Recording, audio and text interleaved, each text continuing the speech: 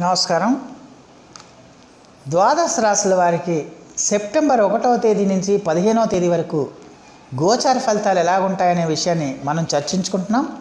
ఈ క్రమంలో కర్కాటక రాశికి చెందిన జాతకులకి ఈ సెప్టెంబర్ ప్రథమ పక్షంలో గోచార ఫలితాలు ఎలాగుంటాయనే విషయాన్ని మనం చర్చించుకుందాం. ఈ కర్కాటక రాశి అంటే పునర్వసు నక్షత్రం నాలుగవ పాదం అలాగే పుష్యమి నక్షత్రం ఒకటి రెండు మూడు నాలుగు పాదాలు అలాగే ఆశ్లేష నక్షత్రం ఒకటి రెండు మూడు నాలుగు పాదాలకు చెందిన వ్యక్తులు ఎవరైనా సరే ఈ కర్కాటక రాశికి చెందిన జాతకులై ఉంటారు.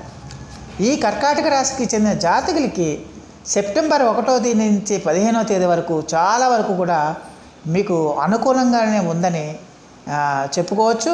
గ్రహాలు కూడా మీకు అనుకూలంగా ఉన్నాయి. అందువల్ల మీరు గతంలో ఏమైనా ఇబ్బందులు ఎదుర్కొంటే మీ ఉద్యోగరీత్యా కానీ కుటుంబ పరంగా కానీ ఏదైనా ఇబ్బందులు అయ్యేవి ఎదుర్కొంటుంటే అవన్నీ కూడా ఒక కొలిక్కు వచ్చి మీకు ప్రశాంతమైన జీవితాన్ని ఇవ్వడానికి ఎక్కువగా అవకాశం ఉంటుంది.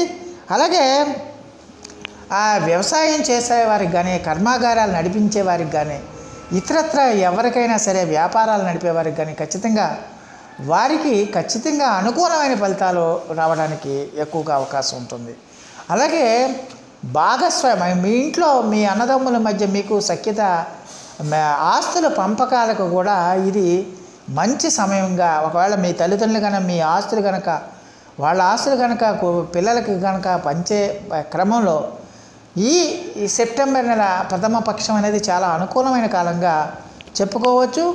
మీకు ఎక్కువగా సత్ఫలితాన్ని ఇచ్చే కాలంగా దీన్ని పరిగణించవచ్చు అన్నమాట ఈ జాతకులు మరిన్ని మంచి విశేషాలు కోసం మంచి ఫలితాల కోసం మీ ఇష్టదైవ నామస్మరణం చేయండి ఇష్టదైవాన్ని పూజండి పూజించండి. అలాగే మీ వ్యక్తిగత జాతక పరిశీలన కూడా ఒకసారి చేసుకుని అక్కడ జరిగే దశ అంతర్దశ ఫలితాన్ని కూడా ఒక్కసారి ఈ గోచార ఫలితాలతో బేరీజు వేసుకుని ఆ మేరకు మీరు ఉపచర్యలు చేస్తే ఇంకా మరిన్ని మంచి ఫలితాలు రావడానికి ఎక్కువగా అవకాశం ఉంటుంది. సో ఈ నా వీడియో కనుక మీకు నచ్చితే లైక్ చేయండి షేర్ చేయండి. సబ్స్క్రైబ్ చేయండి. సర్వేజన సుఖనోభవంతు నమస్కారం.